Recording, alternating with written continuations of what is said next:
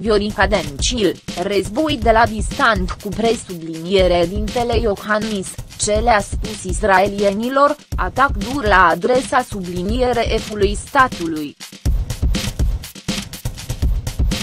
Premierul Viorica Dencil a declarat joi în Israel ce dore subliniere demutarea la Ierusalim a ambasadei României, dar nu dispune de suficient sprijin în acest sens, transmite AFP.